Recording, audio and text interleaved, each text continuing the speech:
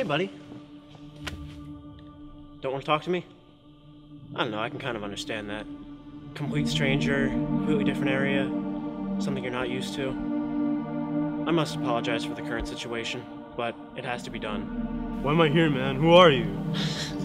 You mean you don't remember? Can't say that I do. Wow, okay. So, do you remember your name? John. Right, good.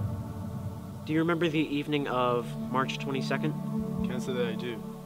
Well, March 22nd was just like any other day. Beautiful, sunny, you could feel the wind blowing through your hair. Town bustling, people going every which way that they could possibly go. What was so special about this day, you ask? That was the day I decided to take my family to the park. It was my first day off in a long time. That was the day my family was shot and killed. I'm so sorry. You should be. You're the one that did it. I, I don't remember. That's because I hit you on the head with a pipe. Wow, I'm, I'm sorry. I don't remember any of it. Well, that's a shame. I'm gonna have to make you remember.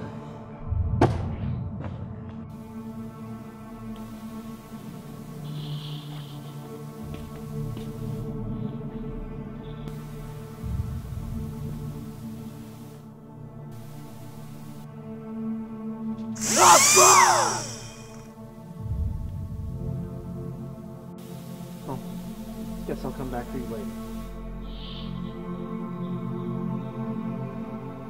You know, I do remember that day.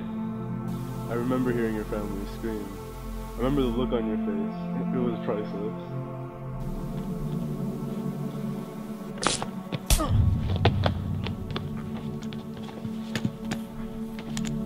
Now you're gonna get to see your family again.